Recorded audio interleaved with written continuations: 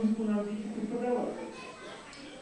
Если твой сосед по парте стал источником заразы, обними его, и в школу две недели не придешь. Никогда не мойте руки, шею, уши и лицо. Дети, вы слышите, какие я вам даю советы? Никогда не мойте руки, шею, уши и лицо. Это глупое занятие, не приводит ни к чему. Вновь испачкаются руки, шея, уши и лицо. Так зачем же тратить силы, время попусту терять? Стричься тоже бесполезно. Никакого смысла нет. К старости сама собою облысеет голова. И еще, дети, вам совет, когда вы придете с мамой в магазин. Если мама в магазине вам купила только мячик и не хочет остальное, все, что видит, покупать, встаньте прямо, пятки вместе, руки в стороны расставьте, открывайте рот пошире и кричите букву а И когда, роняя сумки, с воплем граждане, тревога, покупатели помчатся с продавцами во главе, вам директор магазина, под, тут, тут, к вам хозяин магазина подползет и скажет маме, заберите все бесплатно, пусть он только замолчит. А вот история, которая, вредный совет, который, надеюсь, скоро устареет, потому что уже даже в России есть такие кабинеты зубных врачей, где э, детям не больно, и они не рыдают. А раньше это было так. Когда тебя родная мать ведет к зубным врачам, не жди пощады от нее, напрасных слез не молчи, как пленный партизан, и стисни зубы так, чтобы не сумела их разжать толпа зубных врачей.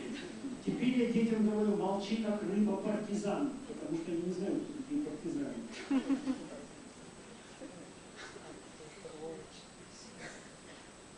Есть, вот, вот что сделаем. Мне вообще очень хочется вам прочитать кусочек из моей совершенно новой книжки, еще не изданной, а, которая называется «Кити и дети». Эта книжка, а, даже, я не знаю, как сказать, такой психологический практикум, где я все перевернул вверх ногами, где с детьми происходит то, что обычно происходит со взрослыми, а со взрослыми то, что происходит с детьми. Но ведь все мы учим наших детей не жадничать, да? Учим их, э, чтобы они игрушки свои вот, давали и все. Я давал э, взрослым вот, отцам подрастающих детей совет, что приучайте своего ребенка э, делиться своими игрушками, только не покупать, не забывайте ежедневно покупать ему новые. Но почему-то страстное желание, не знаю, как здесь, а вот в России, вот такое вот страстное желание родителей приучать своих детей делиться всем, чем попало, меня вот подвигло на такую вот историю. Это называется смертельные котлеты от жадности. Маме одного мальчика купили новое платье, сережки, туфли на стройных каблуках. Мама надела, папа ахнул. Пойдем по улице погуляем. Пусть все видят, какая ты у меня красавица, э, какая у меня красавица жена. Пошли, обрадовалась мама. Родители мальчика спустились во двор. Папины знакомые соседи увидели маму в новом платье, стали завидовать. Ух ты, круто, отпад, не слабая жена, где такую отхватил? Это вы еще не видели, похвастался папа, как она танцует, и не слышали, как поет а попробовали бы ее котлеты, вообще от зависти умерли. Мама улыбнулась. Папа хотел еще хвастаться женой, но мальчик, который все слышал, выглянул из открытого окна сделал папе замечание. Нехорошо хвастаться, не тактично. Может, у кого-то нет такой замечательной жены, ему обидно. У меня, признался один знакомый, такой жены нет. У меня никакой нет, сказал другой знакомый, мне еще обиднее. Вот видишь, папа, хвастовство плохая черта характера. Будешь хвастать, никто с тобой не станет дружить.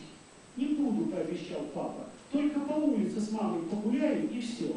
А можно, попросил один знакомый, мне чуть-чуть, одну минуточку, совсем немножко, по двору с твоей женой пройтись, погулять, если, конечно, она не возражает. Мама пожала плечами, поглядела на папу. «Нет, нельзя!» — хотел крикнуть папа, но увидел, что мальчик неодобрительно смотрит на него из окна. Передумал. «Ладно, только недалеко, до того столба и обратно». Знакомый взял маму под руку, вежливо повел к столбу.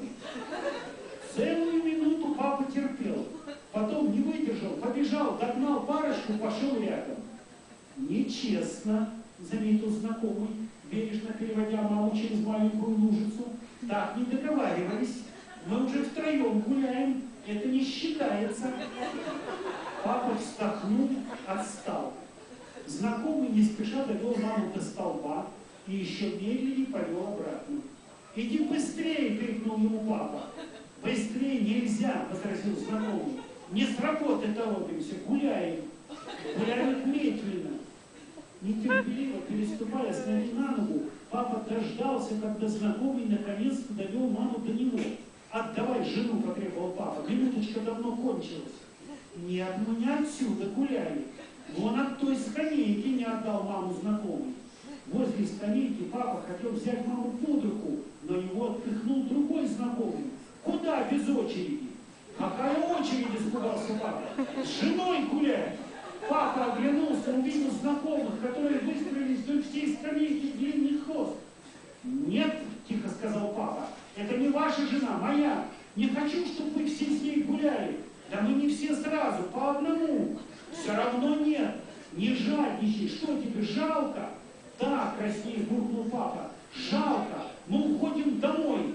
Мама взяла папу под руку, папа шагал алый, как мам, а мама шла с очень серьезным лицом, изо всех сил стараясь не засмеяться. «Жадина, говядина!» — кричали вслед папе знакомые. «Жила, жмот!» Папа обернулся, показал им язык. Мальчик из окна все слышал и видел. Дома, когда нахохотавшаяся мама ушла в кухню жарить котлеты, мальчик подошел к папе, положил ему руку на колено. Ты поступил неправильно, сказал мальчик. Пожадничал. Это некрасиво. Друзья не будут тебя уважать. И пусть, насупился папа, сам буду с мамой гулять один. Жадность – отвратительная черта характера, вздохнул мальчик. С ней надо бороться. Мама моя жена, упрямо сказал папа, не их. Вот, вздохнул мальчик, мое, моя, не ваше, любимые слова жадины. Смотри, не сумеешь победить жадность, сам перестанешь себя уважать.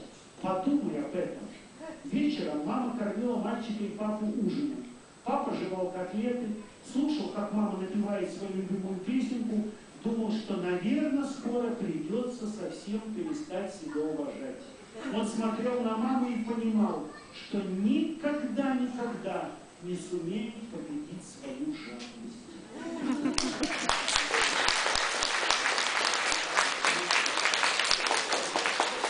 Хотите из этой книжки еще прочитаю? Значит, э, ну вот есть такая история, которая называется «Пузырь из жвачки». Папа одного мальчика умел выдувать крупные пузыри из жвачки. Мальчик его сам научил. У папы здорово получалось. Как-то пришли к мальчику на день рождения дети. Друзья со двора, из класса, веселились за столом, газировку купили, бутерброды ели с пирожными, играли в разные игры. Потом одна толстая девочка спрашивает, правда у папы твоего талант? Пузыри выдувает не хуже любого ребенка. Да, говорит мальчик, он у меня умница. А что ты его от нас прячешь? Покажи. Остальные гости тоже зашумели. Правильно, давай, зови папу, хотим посмотреть. Папа, позвал мальчик, иди сюда. Папа заглянул в комнату, пробрался между детей, подошел к мальчику. Вот он у меня какой, похвастался мальчик. И повернул папу лицом к гостям. Просто прелесть, сказала толстая девочка, забралась на стул, ухватила папу за левую щеку и ущипнула. Не очень больно. Другая худенькая девочка хотела ущипнуть папу за другую щеку, но папа увернулся. Девочка не обиделась. Какой милый папа. Наверное, зарплата у него большая-большая. Не очень улыбнулся мальчик. Зарплата у нас средняя, но неплохая. Папа покраснел. Вот тебе жвачка, сказали папе. Ну-ка выдай пузырь, чтобы мы все ахнули. Нет, говорит папа, мне сейчас не хочется. Что значит не хочется, если тебя просят? Да он, засмеялась толстая девочка, наверное, стесняется, скромничает. Не очень-то у тебя бойкий папа. Бойкий, бойкий, говорит мальчик, сейчас выйду. Наверное, подмигнул гостям другой мальчик в очках. Твой папа просто боится, что не получится. Как это не получится, подмигнула мальчику в очках худенькая девочка. У такого замечательного папы обязательно получится. Все гости стали уговаривать папу не бояться, показать, каким он может выдавать крупные пузыри. А я и не боюсь, сказал папа. Взял жвачку и начал жевать. Пока он жевал, худенькая девочка заспорила с толстой, чей подарок имениннику лучше. Все про папу забыли. Папа не знал, выдувать пузырь или пока не выдувать. Стоял с полным ртом, ждал, когда на него посмотрят. Наконец мальчик в очках закричал, хватит спорить, обратите внимание, тут папа нашего именинника жаждет нам таланты свои показывать. Папа хотел сказать, что не жаждет, что они сами просили, но во рту было много жвачки, и папа промолчал. «Давай, дуй!» – захлопали гости в ладоши. Папа подул. Пузырь получился не очень большой, быстро лопнул. Забрызгал папины щеки. Гости перестали хлопать, сказали, ничего страшного, всякое в жизни бывает. Мальчик предложил еще разок попробовать, но девочки замахали руками. Хватит, не надо, пусть лучше стихотворение расскажет или песни споет. Какое расскажем стихотворение, спросили девочки папу. Никакое, буркнул папа. Ого, какие мы сердитые! Интересно, кем же он тебе стать собирается? Спросила именинница, именинника худенькая девочка. Хочет быть пилотом первого класса, сказал мальчик. Летчиком, значит, молодец, мечтатель, похвалил папу другой мальчик в очках. А возьмут ли, усмехнулась толстая девочка, такого сердитого папу в летчик? Я тихо сказал папа, давно летчик, пилот второго класса на международных авиалиниях. Скоро буду пилотом первого класса. Конечно, скоро, согласился очках. И хотел потрепать папу по правой щеке, но передумал, решил не пачкать пальцы жвачкой. Не стоит печалиться, пожалела папу Курик, худенькая девочка. Второй класс это тоже почетно. Ну да, все-таки не третий, хихикнула толстая девочка и предложила папе бутерброд. Папа поблагодарил, отказался. Ладно, сказал мальчик, не хочешь бутерброд, тогда попрощайся со всеми, иди займись своими делами.